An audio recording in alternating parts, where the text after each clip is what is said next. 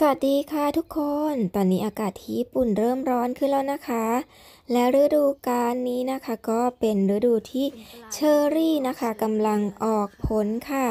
เดี๋ยววันนี้นะคะอานจังก็จะพาทุกคนไปเก็บเชอร์รี่ที่สวนกันค่ะ ฤดูกาลผลไม้เชอร์รี่ของญี่ปุ่นนะคะ ก็จะเริ่มในช่วงประมาณกลางเดือนพฤษภาคมไปจนถึงกลางเดือนมิถุนายนค่ะ วันที่เราไปเก็บเชอร์รี่กันเนี่ยถือว่าเป็นช่วงท้ายๆ ของฤดูกาลแล้วนะคะ เห็นชาวสวนที่นี่เขาบอกว่า ปีนี้เนี่ยอากาศเขาร้อนมากก็เลยทำให้เชอร์รี่ออกเร็ว และผลผลิตก็ไม่ค่อยดีเท่าที่ควรค่ะทำให้เชอร์รี่ที่ออกมาวางขายตามตลาดเนี่ยราคาค่อนข้างสูงด้วยนะคะ ส่วนที่เราเข้าไปเก็บในวันนี้นะคะ ราคาอยู่ที่คนละ 2,200 เยน ให้เวลา 30 นาทีทานในสวนได้ไม่อั้นค่ะ มาเก็บเชอร์รี่นะคะซากุระบัวลิมาค่ะ กินเชอร์รี่อืมกันค่ะอืมพากันมุดกินเหมือนแอบกินเหมือนแอบเลยหนูอ่านก็แอบแอบกินอะไรกันเนี่ยต้นนี้หวานอยู่เนอะหวานอยู่ ดกด้วย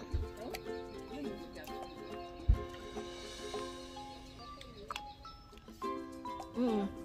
มันหวานคนละแบบเนาะ อันนี้มันจะแบบน้ำมันจะค่อนข้างเยอะนะ ต้นเนี้ยส่วนนี้ก็จะมีเชอร์รี่อยู่ประมาณ 2-3 สายพันธุ์เลยนะคะ ชาวสวนเขาก็บอกนะคะว่า ต้นนี้สายพันธุ์อะไร ต้นนี้สายพันธุ์อะไร แต่ว่าเราก็จำชื่อกันไม่ได้ค่ะ เก็บกินกันอย่างเดียว รู้แต่ว่าข้างบนต้นนะคะ ข้างบนยอดยอดๆอะจะหวานกว่านะคะ แต่ข้างล่างก็จะแบบไม่ค่อยหวานเท่าไหร่ มีอมเปรี้ยวนิดๆ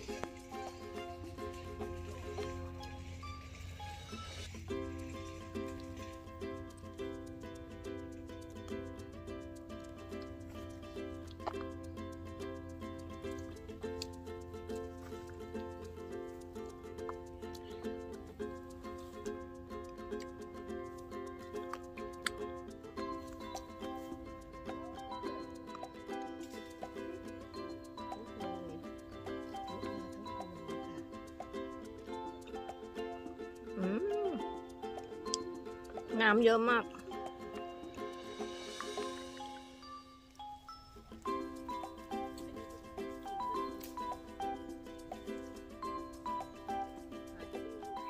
เราอยู่ที่นี่กันน่าจะเกิน 30 นาทีด้วยค่ะ เจ้าของสวนไม่มาตามสักที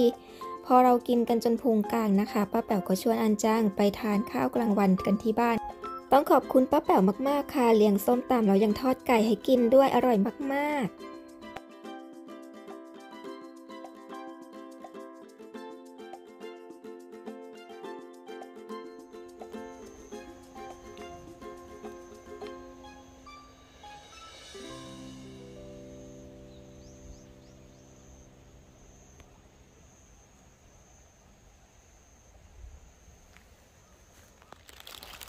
ผ่านไปหนึ่งเดือนกว่าๆนะคะ มาดูความคืบหน้า มาดูการเจริญเติบโตของ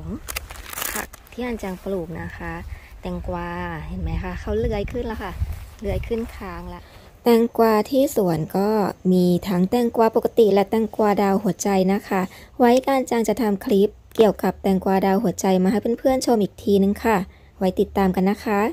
แล้วก็จะเป็นอ่า มะระจีนนะคะมะระจีนก็งามแล้วค่ะ เพิ่งจะเริ่มเหลือยได้ประมาณต้นต้นเดือนนี้เองค่ะ เพราะว่าเดือนที่แล้วอะที่ปลูกไปอะก็คือเขาอากาศเขาแบบ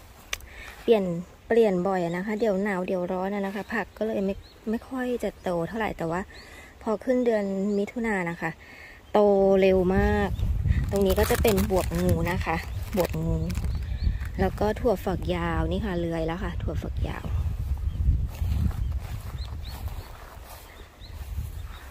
ตรงนู้นก็จะเป็นมะระโอกินาวะตำลึงที่เมล็ดร่วงลงพื้นแล้วขึ้นเองนะคะ อันจังก็เก็บไปทำต้มจืดได้หนึ่งหม้อแล้วค่ะ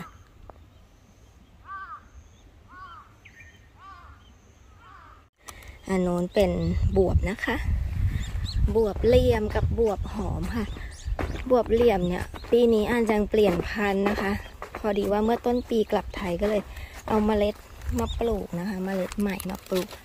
นะคะเขาออกลูกเร็ว ต่อไปก็เป็นพริกหยวกนะคะ พริกหยวกแล้วก็มะเขือม่วงค่ะมะเขือม่วงกับอ่าพริก พริกขี้หนูทางนู้นนะคะ ยังไม่ค่อยโตมากค่ะ เพราะว่า เพาะเมล็ดช้าหน่อยนะคะ เนี่ยค่ะก็มาอัปเดตให้เพื่อนๆดูกันนะคะ หลังจากที่ทำอุโมงค์แล้วก็เพาะต้นกล้าปลูกต้นกล้าลงไปนะคะ